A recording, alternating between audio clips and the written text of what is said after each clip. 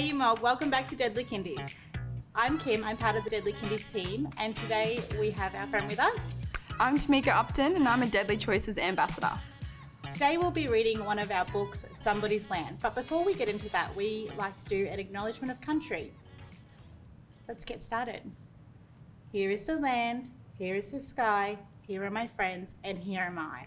We would like to acknowledge the, tradi- the traditional owners of the land on which we play, discover, and learn. Today we are on Yagara and Turrbal land. All right. Somebody's land. Flip this over. Somebody's land. It's a nice little picture to start. For thousands and thousands of years, Aboriginal people lived in the land we now call Australia. Look how happy they were. The land was where people built their homes, played in the sun, and sat together to tell stories. When the white people came, they called the land Terra Nullius. They said it was nobody's land, but it was somebody's land. For thousands and thousands of years, Aboriginal people lived in the land we now call Australia. The land is where people cared for the rivers and seas, collected shells to share, and caught fish and mud crabs to eat. When the white people came, they called the land Terra Nullius. They said it was nobody's land, but it was somebody's land. I wonder if there's mob out there that still go out and catch their fish and their mud crabs for dinner. I know my family do. For thousands and thousands of years, Aboriginal people lived in the land we now call Australia. The land is where people cared for the rivers and seas, collected shells to share, and caught fish and mud crabs to eat. When the white people came, they called the land Terra Nullius.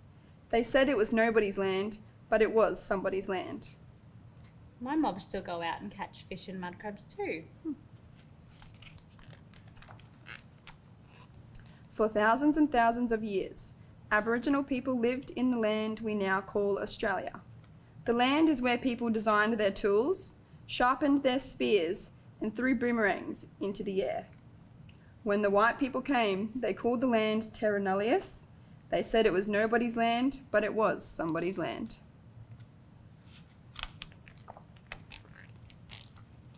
For thousands and thousands of years, Aboriginal people lived in the land we now call Australia. The land is where people spied tracks on the ground, hunted food to eat, and only took from country what they needed. When the white people came, they called the land Terra Nullius. They said it was nobody's land, but it was somebody's land.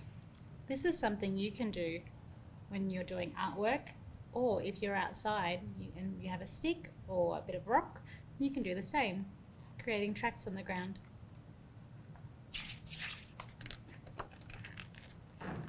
For thousands and thousands of years, Aboriginal people lived in the land we now call Australia. The land is where people gathered seeds and berries for bush tucker, made medicine from plants, and shared secret knowledge with family at sacred sites. When the white people came, they called the land Terra Nullius. They said it was nobody's land, but it was somebody's land. For thousands and thousands of years, Aboriginal people lived in the land we now call Australia. The land is where people painted their faces, carved teaching into rocks, and danced to awaken their ancestors. When the white people came, they called the land Terra Nullius. They said it was nobody's land, but it was somebody's land. What beautiful moments to share with mob. For thousands and thousands of years, Aboriginal people lived in the land we now call Australia.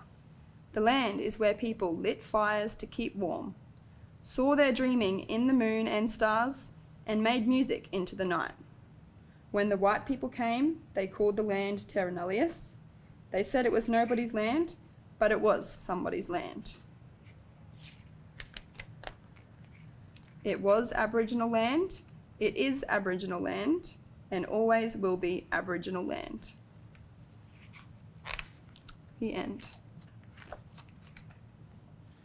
Thank you for coming and reading that story with us, Somebody's Land by Adam Goodes and Ellie Laing.